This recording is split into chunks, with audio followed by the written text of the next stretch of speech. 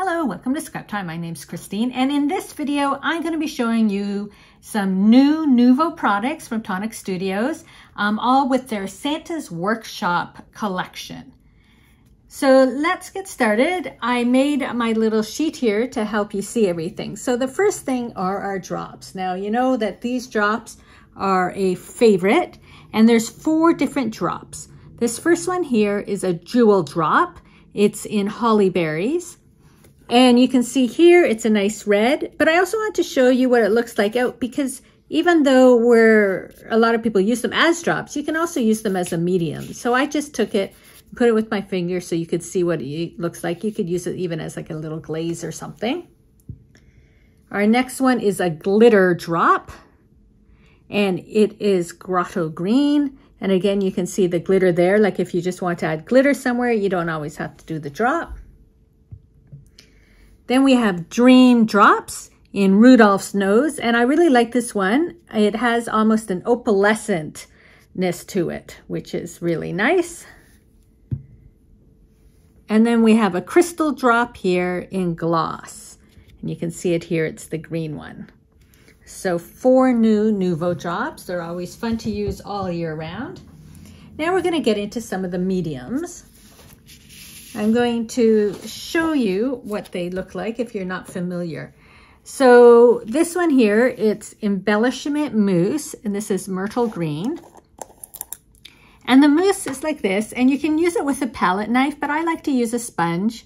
And I just pick up some, and then you can get a nice thin coating. And I've used this in some of my samples. I'll be showing samples later. So if you want just a thin you can just put it on and it dries fairly quick when you do it sort of thin. And that's how I put it through the stencil there, just with a sponge.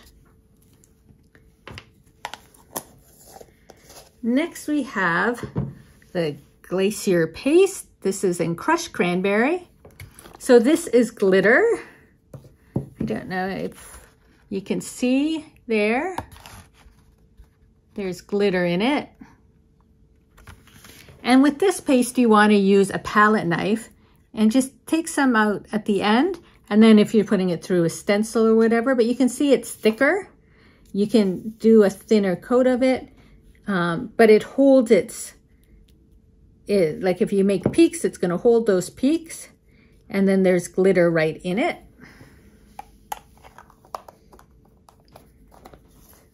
I'm going to just wipe off my palette knife with napkin.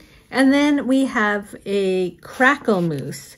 So you can, you should be able to see there the crackles um, in it. If you put an ink over it, it will highlight those crackles. I just left it as is.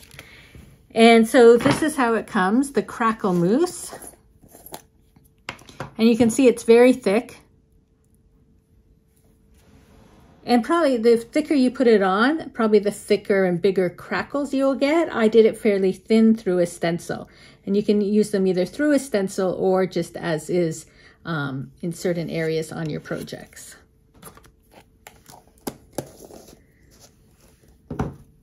Oops, getting glitter all over my hands.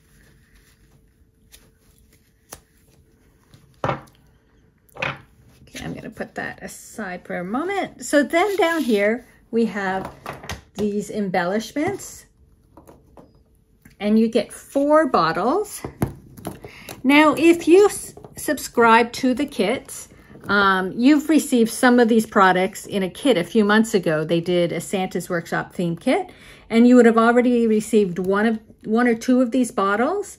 Um, there is the Falling Snow Glitter, which is like white, the Christmas Magic Glitter, the Candy Cane Sequins, and the Snowflake Sequins. And they come in a four pack called Santa's Workshop. You get the four little embellishments.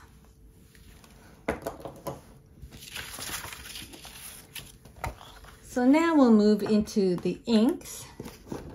So these three inks um, come in a little set.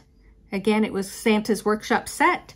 And you get Glacier Cherry, a white pigment ink, so I stamped it on black so you could see what it looks like, and Shamrock Green.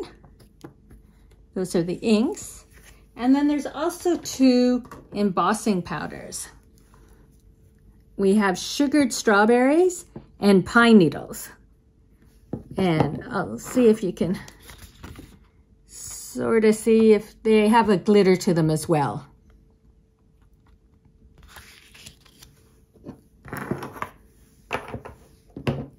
And then this is really fun, this glitter marker. I hadn't used these glitter markers before. I'm just gonna show you though, here. It's quite thick and it has a really nice glitter to it. So you could draw or do whatever you want and add little, um, little markings to your project and it's very glittery.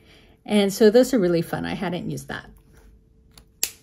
And then the last medium is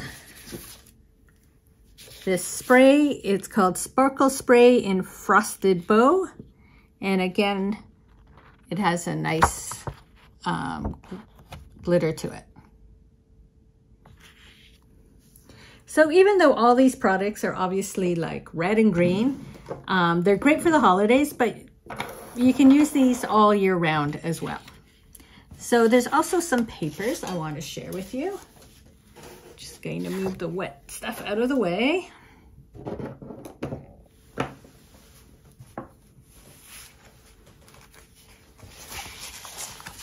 So here we have five specialty papers. This first one is called Stunning, or sorry, Shining Spruce. And I love these handmade papers Tonic does under Craft Perfect. And it has a really nice texture to it. This next one is called Ice Rink. Now this paper is one of my favorites to use like all year round. It's white, but it just has that texture to it. And it's perfect for background. So if instead of just having a flat card or a flat white, you put this on and it just amps up your card and it looks really nice. So um, I like this one. These come in packs of five. Then this one is called Santa's Hat. And we'll see if you can see the texture on it. And it has a nice sort of smoothness to it, but yet just that subtle texture in the background. This one is a classic card and it's Pine Tree Green and it's just your cardstock. It has a little bit of a linen finish to it. And this last one is Candy Stripe, and it's a foiled card. See the foiling? And then they also have a sheet. So again, if you got the uh, kit a couple months ago, you got this craft pad in it, uh, the Santa's Workshop pattern piece paper. There's eight designs, six of each. So we have a stripe and a star, and then there's the snowflake and dots. Then we've got the stripe and these little sort of Christmas tree triangles.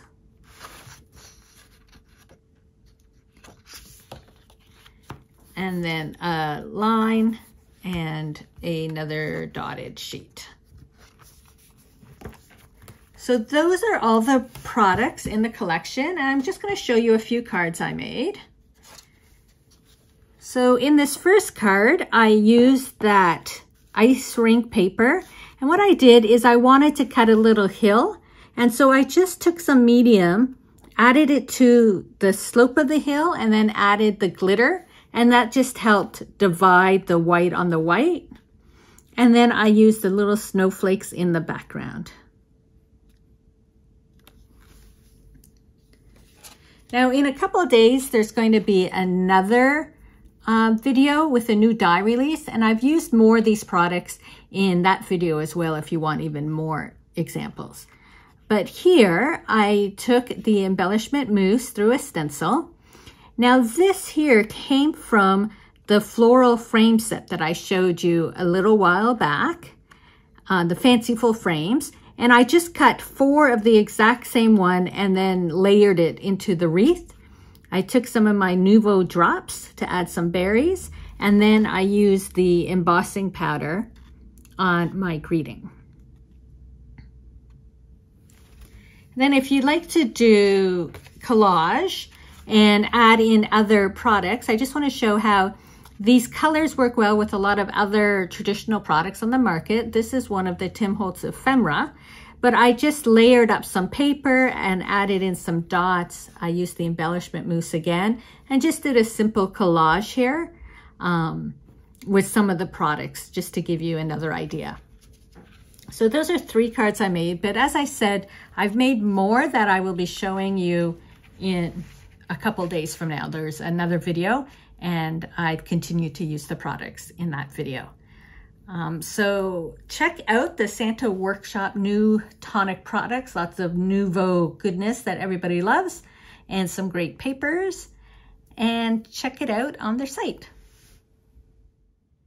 Thanks for watching. Be sure to give our video a thumbs up and subscribe to Scrap Time videos on YouTube. In the meantime, here are a couple of other videos you might be interested in watching. See you next time. Bye-bye.